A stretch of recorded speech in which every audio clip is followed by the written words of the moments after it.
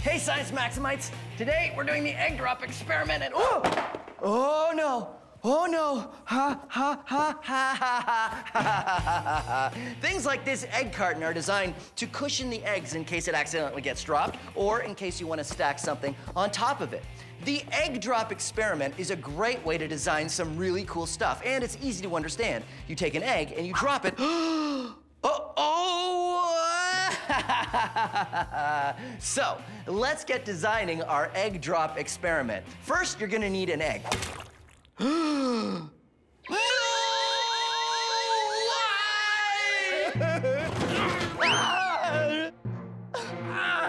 Everything's fine. One, two.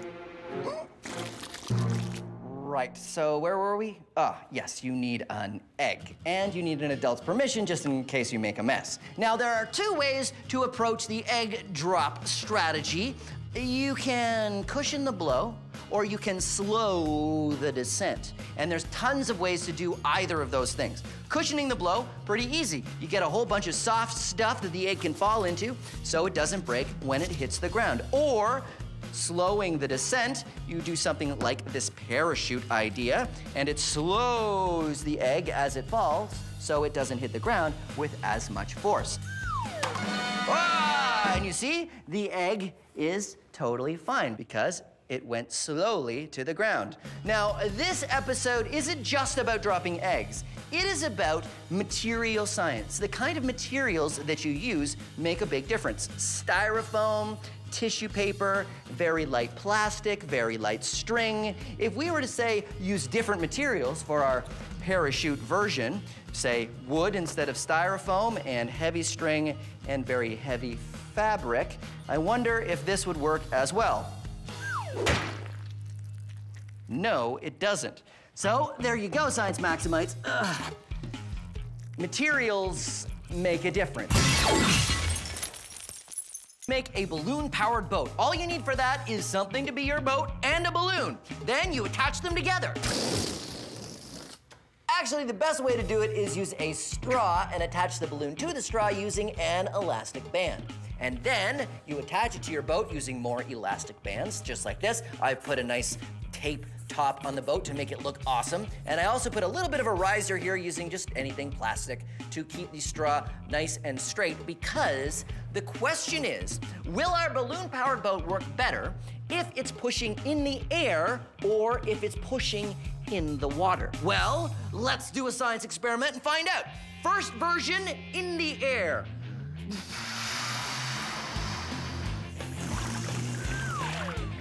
Oh, almost all the way. Now let's try it with the straw like this so it pushes into the water.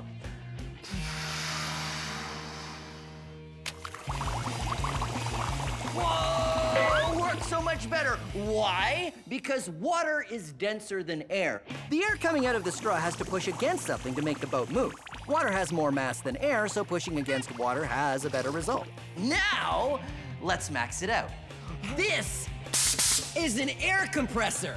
Well, actually, that is the air compressor. You see, the engine here pushes air into this tank, which works sort of like the balloon. And then it goes out this long hose, which sort of works like a straw. So let's make a maxed out air-powered boat. Ready?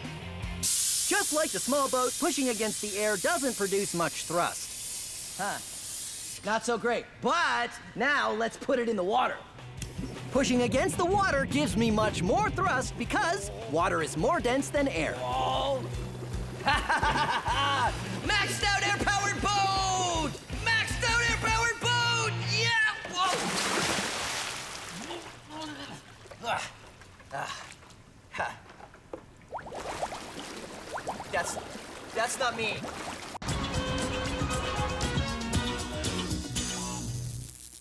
Did you know that we live on the bottom of an ocean of air?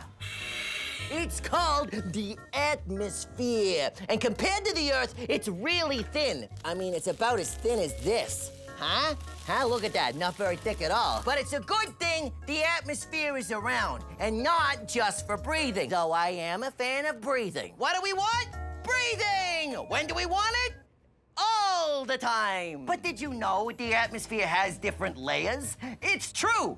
I will walk you through them. No, I mean, come on, you got you gotta come with me. I'm walking over to walk you through them. Okay, the troposphere. This is the layer where we are all existing right now, where all of our weather happens. There's a lot of air molecules in this layer. Think Think of these balloons as air molecules. There's a lot of air in this layer. Yay, air! Next layer, the stratosphere. There's less air molecules in this layer, and it's where jets fly. Next layer, the mesosphere. There's even fewer air molecules in here, and it's where meteors burn up and turn into shooting stars. Fire, fire, fire, fire! The thermosphere. Not many air molecules left up here, and this is where the northern lights, the auroras happen. Woo! Northern lights. And finally, the exosphere. This is as high as the atmosphere goes. This is where satellites orbit, and if you see any air molecules up here, they're just passing through. Hello. And after that, nothing but the vacuum of space. Ooh, the vacuum of space. Of course, you know it's not that kind of vacuum, right? Right. Vacuum just means no air. There you go. The atmosphere. The only thing separating us from the vacuum of space. Roberta, the space vacuum got broken. I don't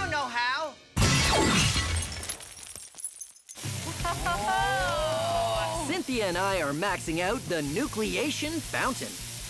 This one is almost like a spray. It's not like a mist. Yeah, it's a, a mist, mist. of cola. Just to experiment, we tried using a giant bottle and pouring the Diet Cola in. I'm a little concerned about the science, but it didn't work. Well, that's not very exciting.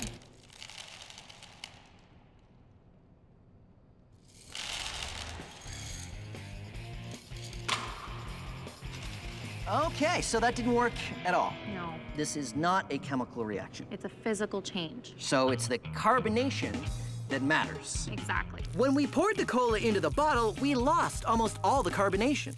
How are we gonna max it out? That's the question. So if we can't make a larger container, More bottles? we just have more bottles. So we'll just get a lot of them and we'll set them off in a sequence or something. Okay, let's do a pattern or something. We'll max out the Uh, I know. what we should fountain. You know, we should be sort of like a cascade and we'll get a, ooh, a lazy Susan or, or. Cynthia and I have done a whole bunch of different experiments. Experiments. To find out how to max out the nucleation fountain. So we'll just get a lot of them and we'll set them off in a sequence or something. Okay, let's do a pattern or something. Now we have a bunch of bottles and we're ready to try the maxed out version. We've got our, our release mechanism. With our medium aperture. Yep, and uh, we're gonna put the mints in all of the bottles and then we're gonna release them in a very coordinated, Pattern. rehearsed pattern. Very rehearsed. We've rehearsed it a couple times. We'll see how it goes. And we've got this lazy Susan, which will spin around and we'll see how it goes. And three, Two, one. One, two, three, four, five, six. seven. Surprise!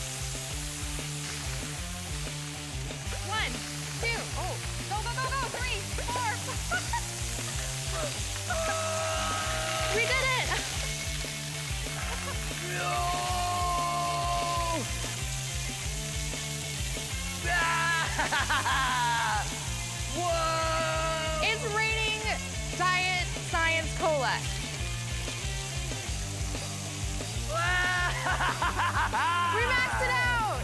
Maxed out! Nucleation fountain. That is as good as it's gonna get. So let's recap. Our nucleation fountain is all about releasing the carbonation in our Diet Cola faster than normal. This happens because there's lots of tiny bumps on the mints for the carbon dioxide to grab onto and make bubbles. High fives. There you go. Science Max experiments at large nucleation fountain. Excellent job. Now all we need to do is, is clean it Clean up. Clean up, and I think I need a shower with water. Yeah, I think I need at least the towel. Yeah, Okay, but it's supposed to volumize your hair. Is it good for I your hair? So. I yeah, hope so. better than honey and things like I that. don't- awesome. You guys gotta try this. It's so good. Whoa. Carbonated chili. Oh, that's so horrible.